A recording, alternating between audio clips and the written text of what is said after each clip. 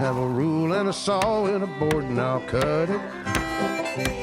I'll climb up a ladder with a hammer and a nail and I'll nail it. Well, we worked so hard to build a little house together. In the snow or the rain or the ice cold wind, whenever. No matter what the weather, we're together.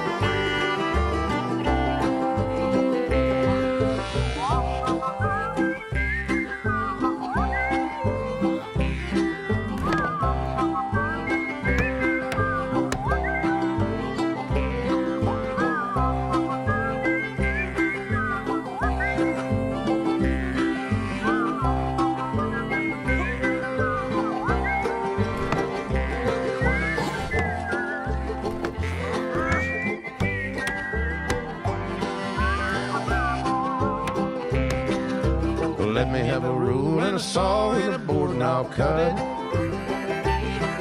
Climb up a ladder with a hammer and a nail and I'll nail it.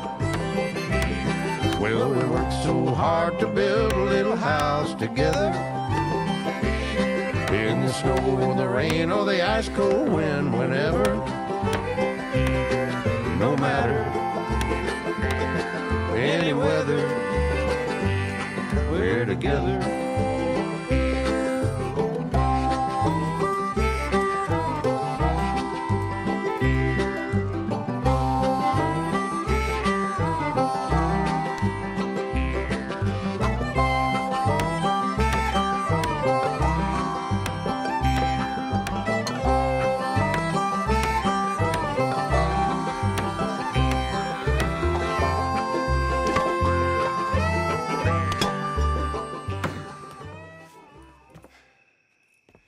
And I think that's everything.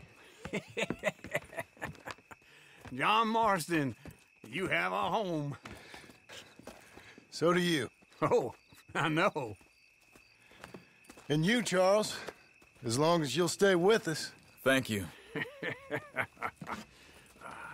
Gentlemen, to this happy home. Well, at least till this fool gets his woman back.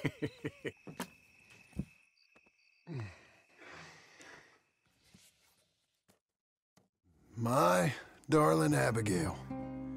I hope you and Jack are doing well. I remain a fool, and I'm sure I shall die a fool. But I'm trying very hard to be something like the man you deserve. I have done something very silly in an effort to impress you. And that is, I've purchased a home. The land you read about in the newspaper up at Beecher's Hope is now ours, and we are going to try our hand at ranching. Mr. Geddes kindly helped me buy the land. I met Uncle while I was coming out of the bank, and while I know your feelings about him, he has been enormously helpful in his own fashion.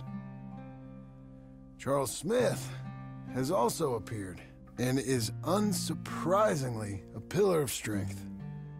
Together, we've built you a home. I hope soon to show it to you. I miss you and the boy more than I can express. Please, come back to me. Yours always, John.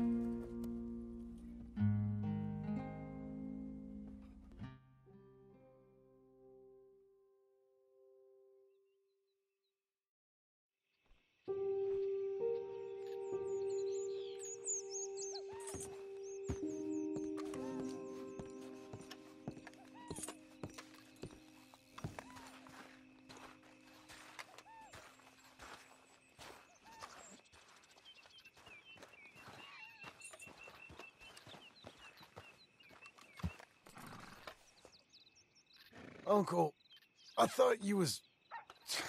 Where the hell?